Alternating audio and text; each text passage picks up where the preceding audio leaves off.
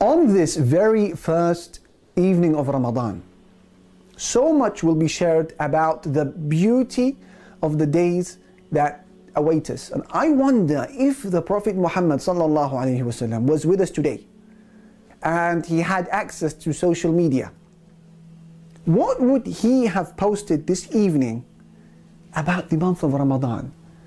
What would he have chosen to say? Well, I think that the following narration really does give us a hint about what he may have just said. Because on one year, when Ramadan had arrived, he ascended the pulpit and made a public announcement to the companions saying, قد جاءكم رمضان شهر مبارك The month of Ramadan has come to you, a blessed month. افترض الله عليكم صيامه wherein Allah has obligated within it fasting تفتح فيه أبواب الجنة where the gates of paradise are opened ويغلق فيه أبواب الجحيم and the gates of the hellfire are locked up وتغل فيه الشياطين and the devils are chained up فيه ليلة خير من ألف شهر من حرم خيرها فقد حرم and within this month there is a night that is superior to 1000 months and whoever is deprived of the goodness of that night has certainly been deprived. Those were his words.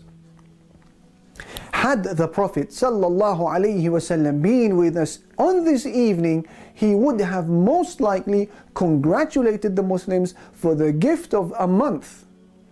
The gift of a month that many of us are yet to appreciate the weight of. And that is why Imam Ibn Rajab al-Hanbali, he said that some scholars have said this hadith, the one that we just cited, this hadith is a key evidence for the practice of congratulating one another for the arrival of the month of Ramadan. And then he says, Allahu Akbar. He said, Why shouldn't the believer be congratulated when the gates of paradise have opened? Why shouldn't the sinner be congratulated when the gates of hell have been closed? Why shouldn't the intelligent one be congratulated for a time when the devils are chained? He said, How can this month be compared to any other time?